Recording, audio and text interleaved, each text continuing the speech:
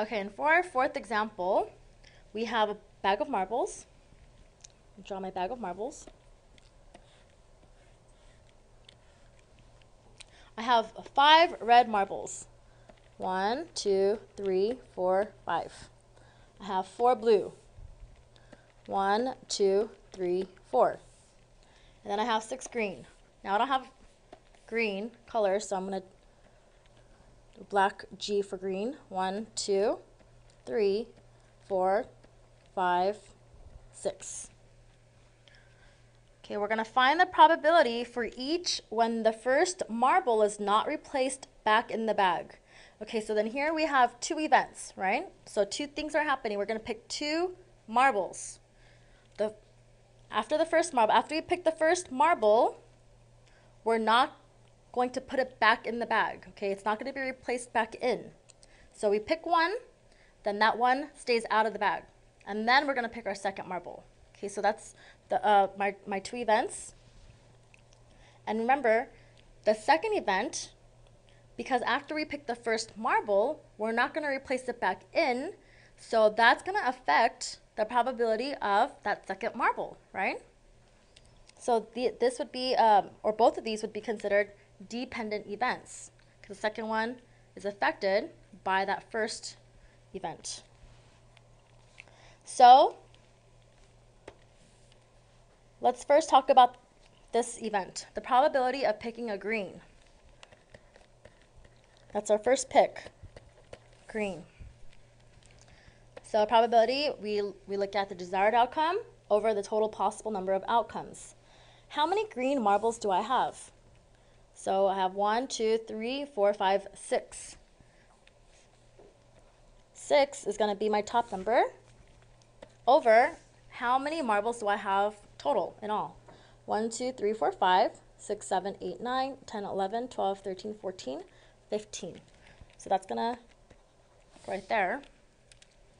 So the probability of picking a green is 6 over 15. Now, I, it's still a fraction, so I still have to simplify it, right? What number goes into both 6 and 15? They share a factor of 3. So this is going to be 2 over 5. The probability of picking a green is 2 over 5. Well then, now I have to pick my second marble, and that's going to be red. Now, because that first marble was not replaced back in the bag, this marble, one of the green, is now gone, right? It's no longer in there. So probability of picking the red. How many reds do I have? I have five red marbles, five on top, over how many marbles do I have now?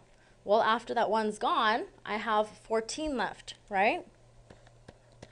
So it was 15 and then minus the one that we already picked. So now it's 5 over 14. Okay, so the probability, and now this fraction I can't simplify, right? So that's the probability of picking the red. So now I can, to find the probability of both happening, I take this one, and I take this one, and I multiply together. So it'll be probability of the green times the probability of picking the red. And this is dependent, so it's the red after green. So 2 over 5 times 5 over 14. 2 times 5 is 10. 5 times 14. 14 times 5, we do this, right? That's 20. 5 times 1 plus the 2 is 70. Now, fraction, so I have to simplify it. What number goes into both top and bottom? 10, so I divide by 10 for each. I get 1 over 7 as my answer. So the probability of picking a green, and then afterwards, without replacing it back in, picking a red marble is 1 over 7. Okay, let me write this for this second problem.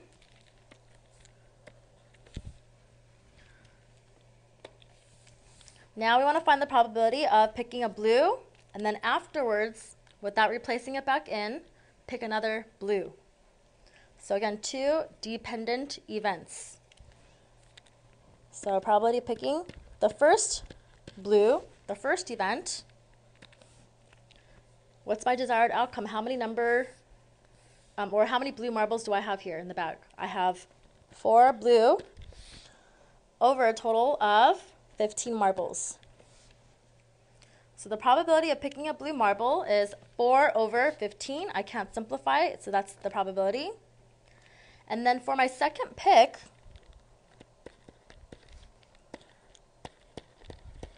because again, it's not being replaced in the bag, this one is no longer in the bag. So I have one less marble. So for my second pick, I want to look at how many blue marbles I have left. I have three left. I had four, but one's gone. So now I have three. Over, and then I don't have 15 anymore. I have 14 now. So probability of picking the first blue was 4 out of 15. Because I had all my blue, just four of them, out of a total of 15 marbles. For my second pick, I'm also um, wanting to pick another blue one. I only have three left because the first one was replaced back in out of a total of 14 marbles left. So now I'm going to take the first event and then multiply to the probability of the second event happening. So it's 4 over 15 times 3 over 14. 4 times 3 is 12 over 15 times 14. Okay, you're going to multiply it. This is 20. That's 4 times 1 is 4, plus 2 is 6. Okay, I leave the space alone. 1 times 5 is 5. 1 times 1, 1. I'm going to add them down. 0. This is 11. This is 2. So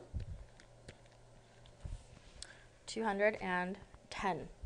Okay, now I know I can simplify this fraction because this number is an even number and this number is an even number. So let's divide each of these by 2. Oops.